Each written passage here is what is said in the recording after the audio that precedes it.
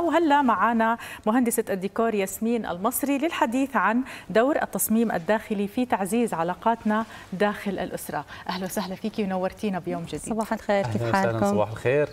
نورتينا هل يعني بدنا نحكي بشكل هيك عائلي فعلا في مثلا ألوان معينة في البيت بتنفر؟ طبعاً،. الأفراد. طبعا. هلا بداية لازم نحكي عن موضوع بيوتنا. هلا بيوتنا مع الوضع الحالي أو التطور الحالي آه، صارت تتغير الوظائف الداخلية اللي فيها. فأنا بنصح كل حدا هلا بيعمل بيته أو يعني بيشتغل أو بيشتري شقة أو هيك ما تتقيدوا بالفراغات اللي إحنا مثلا بنحطها يعني ك standard. يعني ما زي غرفة معيشة زي غرفة الضيوف is must لا.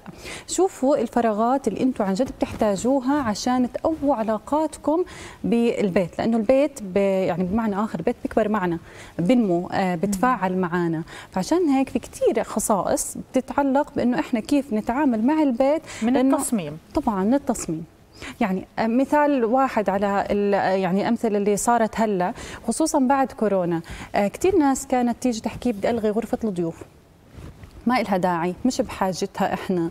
آه في ناس كانوا يجوا يحكوا لنا أنا بدي أحول غرفة الضيوف ل business centers كيف أنا لما بطلع بقعد مثلا بال business center بدي أقعد أحس حالي بكافيه أساس إنه مثلا هذا مكتب إلي شغلي كذا.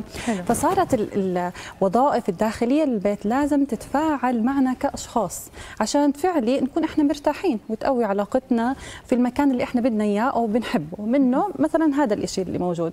كمان شغلة مثلا إذا بدنا نحكي عن أشياء مثلا لها علاقة بالخصائص الأساسية للبيت زي الألوان اللون لما يكون مريح هادي رايق طبعا في أشياء ترند بتطلع معنا بالسنين كل مرة بس هي بتكون الألوان فعلي اللي بتجذبنا للبيوت الألوان الرايقه زي يعني كثير في أشياء الأبيض ال gray آه، يعني في. أشياء آه، غير مثلا هاي الألوان okay. كل سنة بيكون في عندنا ترند في الألوان خصوصا إنه يعني شركات الدهان بتطلعها فبصير الناس يمشوا معها حلو. مثلا زي الكريمة زي الكابتشينو زي هاي القصص اللي عم تطلع معنا في كل في كل سنة.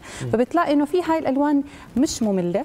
وبنفس الوقت إحنا يعني مش standard يعني محايدة.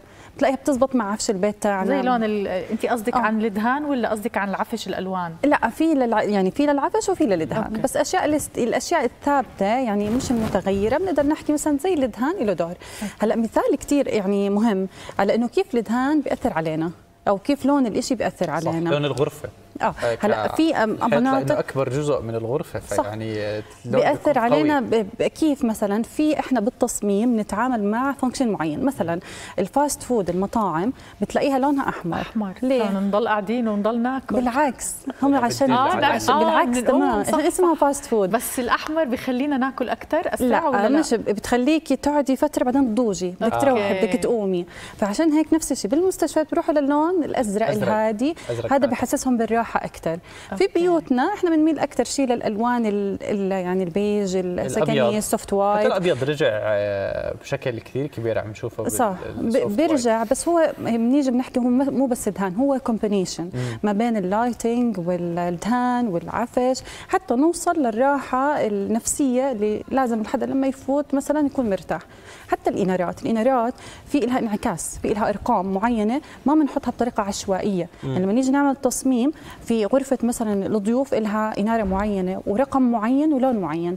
غرفة الدراسة لها reflection معينه عشان صح. حدا لما بيجوا بدرسوا هذا يدرس- دراسات علمية. مركز. طبعا. دراسات علمية بتكون مثلا range الإنارة تكون مثلا بين 3500 ل 4000 هي أريح إنارة موجودة.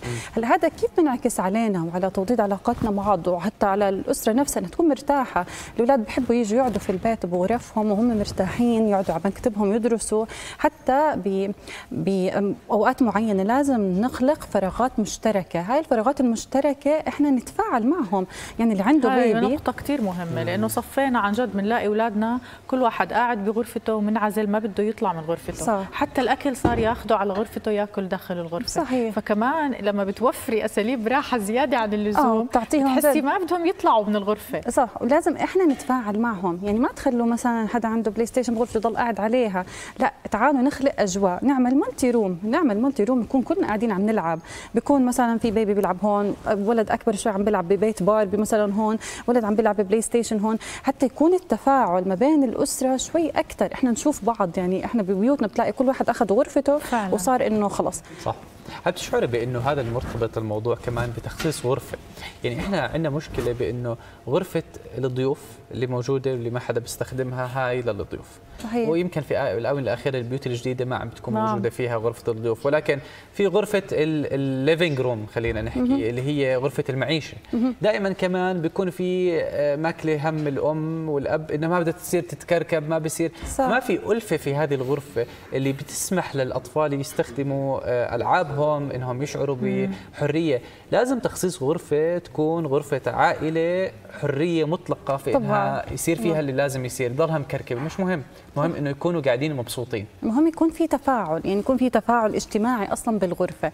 يعني أوقات كثير بيكون في مثلا عندي بالغرفة مثلا زي ما بنشوف هلأ المطبخ مثلا الأمريكي آه، يعني هو شيء نوع من الشيء الترند الجديد. بس فعلي قديش بأول علاقة لما تكون أم تطبخ شايفة ابنها قاعدة مثلا بتحكي مع زوجها فبتصير يعني بيكون فيها تواصل أكثر في ناس مثلا بينزعجوا منه أوكي ريحة الطبيخ بتعبي بالضبط. بس الشفاطات هلا حاليا آه بس فعلي هو بيزيد العلاقة مع الأسرة. في أوقات مثلا غرفة جنبي جنب غرفة القعدة اخترعوا فراغات أنتم تكونوا بتلبي احتياجاتكم. اعملوا واجهتها أزاز كاملة وخليها غرفة ألعاب. وضلكم شايفين أولادكم هم عم بيلعبوا. أو يعني أنتم لازم يكون في تواصل بصري لازم يكون في تواصل اجتماعي. أوقات كثير بيجي ناس بحكي لي ما بدي أعمل طاولة طعام بالمطبخ. أنا مش بحاجة أنا أولادي عم بياكلوا stool chair وبعدوا وبيطلعوا as breakfast area يعني. هذا شيء جدا سيء وجدا جدا خاطئ. مم. لازم العيلة تجتمع على طاولة طعام ولازم تكون يعني قياساتها معينة. والطاولة المربعة غير عن طاولة دائرية. للأسف.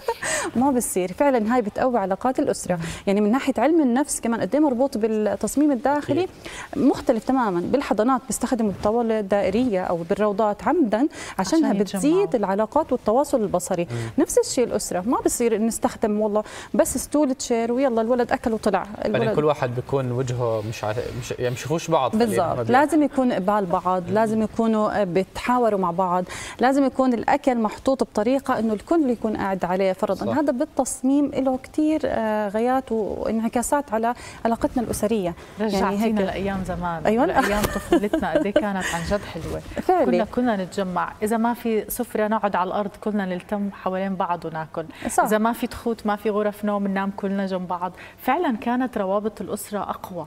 وهذا إيش شوفي أنت بذكرياتك عم بتحكي. كثير وهذا فعلي مستحيل آه. ننساها. هذا في في التصميم هذا علم هذا علم إنه أنت عن جد عم ترتبطي بالأماكن. فعلا. طب شو اللي غير زمان عن هلا؟ يكون مهندسين الديكور غيروا غيروا التفكير الديكوري للمنزل وغير هيك و... السرعة السرعة نعم. الأشياء اللي إحنا عم هلأ بنشوفها السرعة بتلاقي الأب بده يأكل بسرعة ويطلع الأم بدها تطلع بسرعة هيك.